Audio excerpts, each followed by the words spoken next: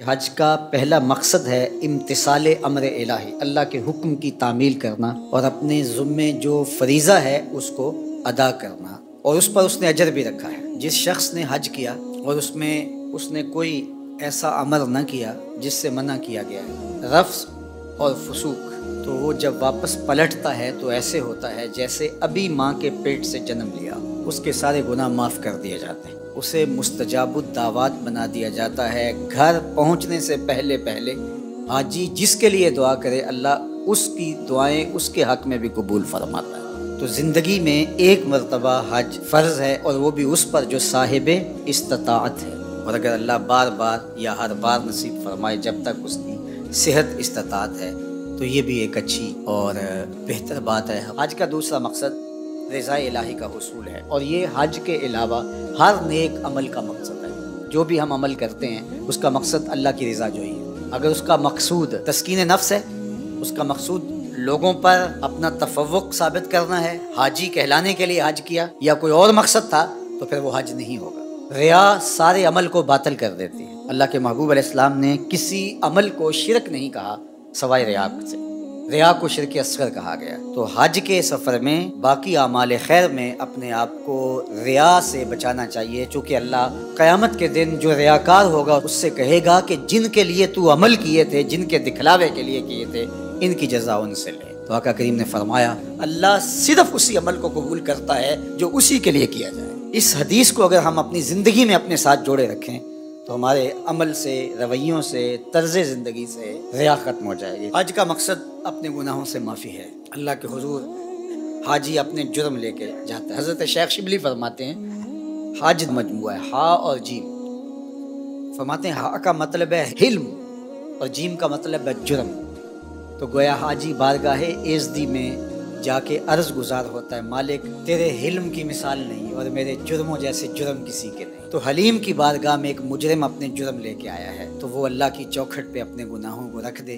तो हज फिर एक ऐसा अमल है कि जिसके नतीजे में बंदा ऐसे होता है जैसे अभी माँ के पेट से उसने जन्म लिया। तो गुनाहों की माफ़ी के लिए हज किया जाता है। हज का एक मकसद इज्तमाहीत का अमली जहूर है। मुसलमानों को अल्लाह ताला ने एक इज्तमाही ज़िंदगी अता की है। एक मुआशरत है, इस्लामी मुआशरत, जिसमें हम महल्ले की सतह पर पाँच वक्त मस्जिद में जमा होते हैं। फिर इलाके की सतह पर जुमातुल मुबारक के मौके पर आठ दिन के बाद हम जमा होते हैं। फिर हम शहर की सतह पर साल में दो मरतबा ईदैन के मौके पर जमा होते हैं। ये हमारा उससे बड़े साइज़ का इज्तम है।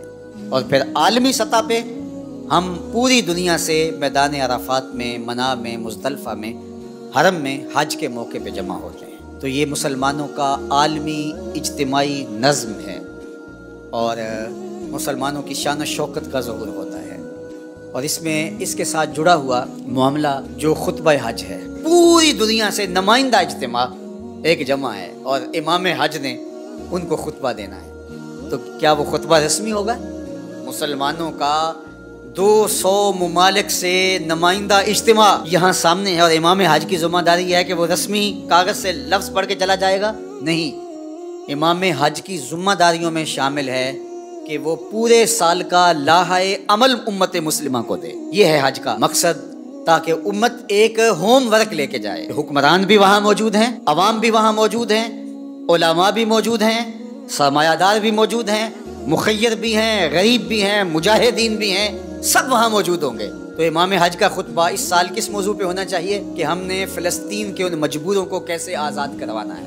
उसमें हुक्मरानों की ज़िम्मेदारी क्या है? ओलामा की ज़िम्मेदारी क्या है? उमरा और मुखैर हजरात की ज़िम्मेदारी क्या है? मुजाहिदीन किस तरह काम करें? उसको एक मज़बूत लाह अमल तैयार करके लोगों के सामने रखना होगा। एक होम वर्क देना होगा। इस वक्त इलाहाद का फितना है। और जो फितने उम्मत को दरपेश हैं, इस वक्त हम बहमी इफ्तराक के अंदर मुबतला हैं, इंतशार में मुबतला हैं तो एक मज़बूत लाह अमल दिया जाए, जिसमें बताया जाए कि हमने पूरा साल ये नुमाइंदे पूरी दुनिया से जो आए हैं, ये जाके इस बात पे काम करेंगे, इस मौजू पे जाके वर्क करेंगे। तो ये लाह अमल होगा। हज के मकासद में से एक हज का मकसद मसावत का अमली जहूर है।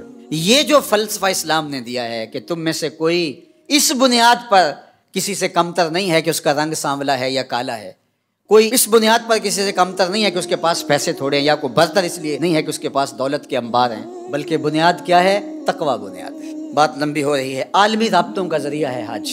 दुनिया भर के ओलामा सोलहा वहाँ जमा होते हैं। काश के इस तरह का खुला इंतज़ाम हो। जिस तरह हमारे ये कमेटियाँ बनी होती हैं। उलमा के उलमा से रबते हों, ताजरों के ताजरों से रबते हों। और हज के लिए तमाम मुल्कों के सफ़ीर जाएँ। मुमकिन हो तो तमाम मुल्कों के वो मारा जाए, उनके आपस में रबते हों, वहाँ मुश्तर इलामी हों तो हमारे आधे मिसाइल तो इससे हल हो जाएँगे।